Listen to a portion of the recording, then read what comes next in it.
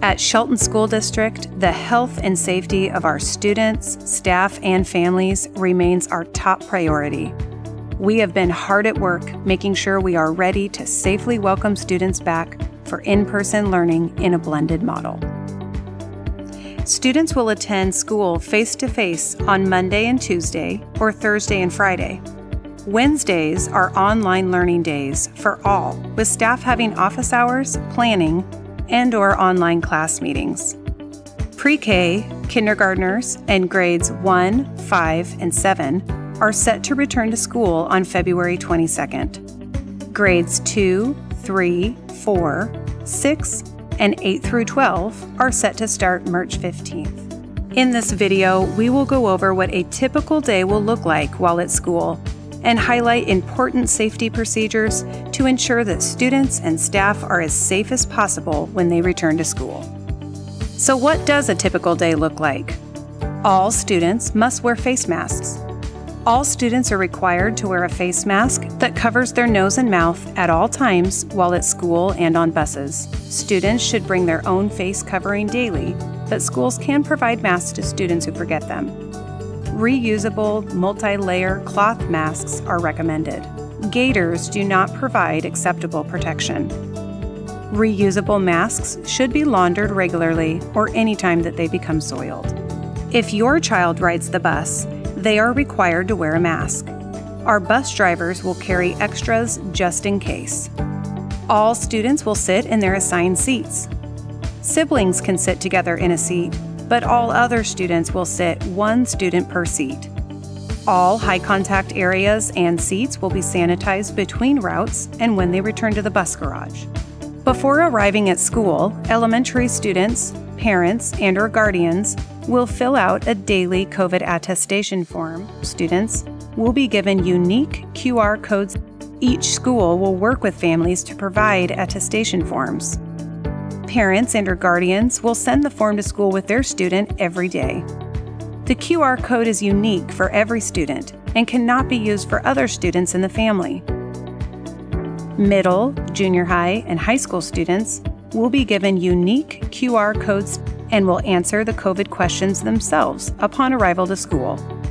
Or they will have the option to sign in using their smartphones and answer the questions in advance by visiting the app screenmein.com. When students arrive to campus, they will go to a COVID screening location near the front entrance or bus entrance at each campus. The screening locations will be clearly marked. If students arrive late, they will go to the screening location at the front office. At the COVID screening location, students will scan their QR code at the screening kiosk. The kiosk will scan their temperature. The screener will ask the attestation questions if the student has not already answered them. If the student passes the questions and their temperature is under 100 degrees, they will be admitted into the building and asked to go to a hand washing station to wash their hands.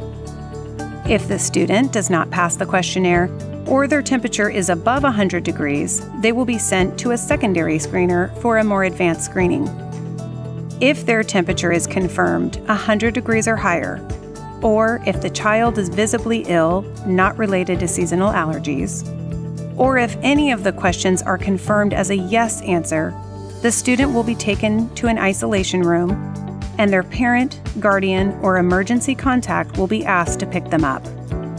Students who fail screening may not return to school for three calendar days or longer if quarantine is required and their symptoms or temperature have subsided. It is important for students to keep their hands clean throughout the day. Students must wash their hands upon arriving to school and will be required to wash them at multiple points throughout the day. This includes before eating meals, after recess, after PE, and completing projects or activities. Hand sanitizer stations have also been placed throughout our campus to help supplement hand washing. Although students will be excited to see their friends again when returning to campus, six feet of physical distancing will be required at all times, except when incidentally passing each other in hallways and momentary encounters on campus. Students will be able to talk to each other at appropriate moments, and there will be opportunities for socializing, but masks and distancing will be required. Classrooms have been set up so that tables and desks are six feet apart, side to side, and back to front. Our maintenance department has been working with our buildings to determine max capacity for students to safely distance in a classroom while sitting six feet apart. Students will not be sharing supplies or materials. Students will sanitize their hands upon entering the classroom. At the end of class, students will help wipe down their desk or any materials if they are transitioning to another class. Students will not bring their Chromebook back and forth for grades K through 6. In grades 7 through 12, they will be asked to bring their Chromebooks to and from home and school. Schools will be contacting families and publishing school supply lists on the district website teachers and students will continue to use the K 12 curriculum during hybrid. Meals will remain free for all students for the remainder of the 2020 21 school year. Meals will be in grab and go bags with a complete breakfast or lunch, and all items will be prepackaged. While at school, students will pick up their lunch and, depending on their school, go to the Commons, cafeteria, or classroom to eat. During Stage B, or the blended model, grab and go meal services will continue at the Shelton High School, Evergreen Elementary, and Bordeaux Elementary from 10:30 a.m. to 12:30 p.m. on scheduled school days for students learning remotely, and also for community members 18 years of age or younger. Meals are limited to one breakfast and one lunch per child per day. We are working hard to provide as many meals as possible to every child in need. If a student receives meals while at school, they are not to pick up meals for the same day from the open site. K 8 schools, along with Choice and Cedar High School, will release 60 minutes early for asynchronous learning. Shelton High School will release at 12:30 for asynchronous learning. Asynchronous learning means that they will be learning independently from home. Students will also have three asynchronous days a week. Schools will be reaching out with more information.